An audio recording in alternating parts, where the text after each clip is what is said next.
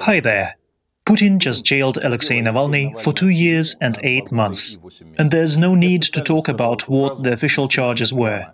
Jailing Navalny was a political decision that had nothing to do with justice. The court is Putin, the judge is Putin, the decision is Putin's.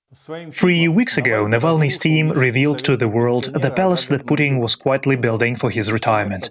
Nothing wrong with planning your retirement, except that the billions spent on the palace, that was Russian taxpayer money, and kickbacks from corrupt businessmen. Navalny's documentary was viewed more than 100 million times in two weeks. Putin was not happy. He was forced to confront the questions regarding his mansion. Embarrassing. Сразу хочу ответить на ваш вопрос. Ничего Из того, что там указано в качестве моей собственности, ни мне, ни моим близким родственникам не принадлежит What does this all mean for Russia and the Russian people? Well, Putin is losing his legitimacy, and the only way for him to compensate is by responding with brutal force.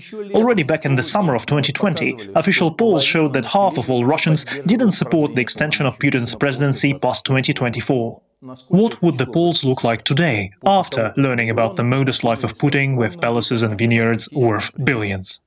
In recent weeks, Russia saw unprecedented numbers of people out on the snowy streets, not just in Moscow, but in regions. The photos of Putin's mansion, complete with 16 underground floors, a hookah bar and private theater, pushed the country over the edge. Navalny's documentary reopened a years-old wound. Russia's average income has been stagnant for almost 10 years.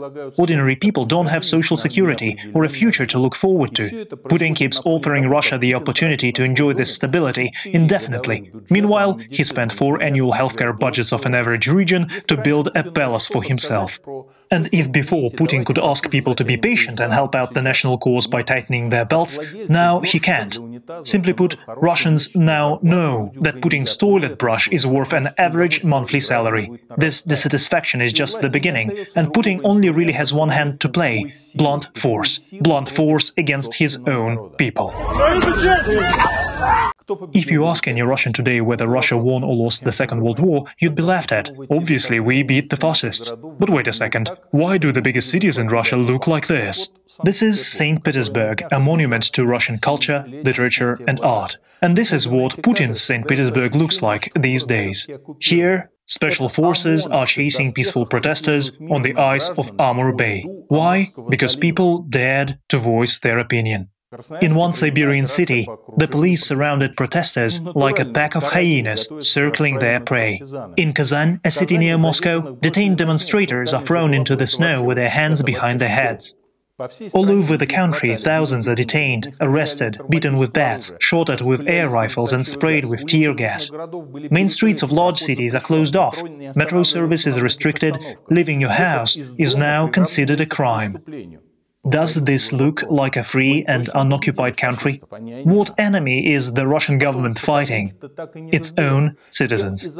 Citizens whose rights the government is supposed to protect.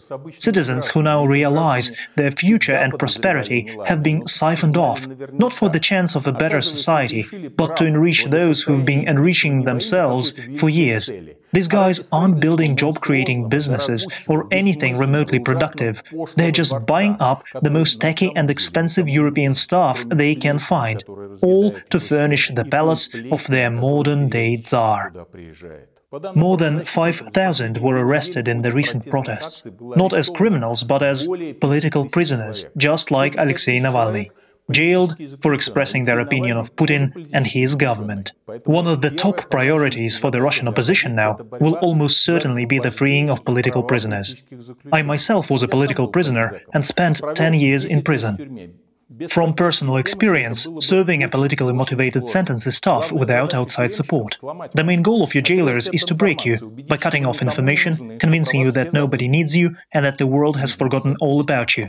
It's vital to have a team on the outside, writing letters, finding funds for lawyers, and holding rallies to highlight the injustice inherent in the system. Political prisoners are not criminals, and they don't just represent the average citizen. They are the average citizen. Now it's plainer than ever that any opposition to Putin is seen as an immediate danger. How did it get to this point? Peaceful protests in any other country would be a standard weekend activity, but in Putin's Russia, it calls for special forces in the streets. Why? Because Putin's Russia is still the Russia of the past, the Russia of tsars, of the voiceless masses and of brutal repression. We've had enough. Another focus of the opposition might be to put pressure on those who prop up Putin's regime, perhaps most easily by expanding the Magnitsky Act and advocating for Europe to draft similar legislation. People who violate human rights in Russia, people who are sponsors or beneficiaries of its regime, should not enjoy the benefits of democratic states. These criminals are embezzling and repressing their own people, all while educating their children at the best schools in Europe and the States, buying up foreign property, and stashing euros and dollars abroad. Apparently, the country they helped create doesn't even serve their best interests. It's important to seek sanctions against high-level officials, the captains and lieutenants in Putin's political mafia. Putin's cabinet and his closest circle of friends are one and the same. Because of that, they're the very people with the most to lose. They've been stealing and profiting from a criminal regime for decades. Maybe it's time they had their belts tightened. They got their Mediterranean villas by being loyal to Putin. They lose them for the same reason reason. Alexei Navalny's poisoning, his arrest, Putin's repressive reaction to the documentary and protests, these are the events that will shape Russia's future political landscape. For now, Russians face two simple yet profound questions. First, whether to support a repressive dictator or not. Second, what to do when he leaves. The first question can and should be answered at the next parliamentary elections later this year. Candidates should make clear their positions on the issues of Putin's use of force, corruption, poisoning. Putin can't jail everyone. The second question is simple free and fair elections. Elections with honest candidates, freely expressing their vision for the country. Elections where Russians can actually have democracy. I see this as my personal top priority.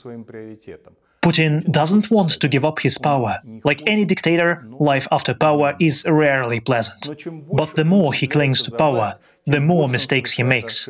The situation is changing very quickly. It's impossible to predict which palace, mansion, vineyard or yacht will be the last straw for the Russian people.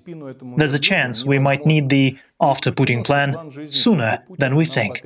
That's why we should be working on it now. Thank you for watching this video. Please like and share. Don't forget to subscribe and turn on the notification bell to stay updated.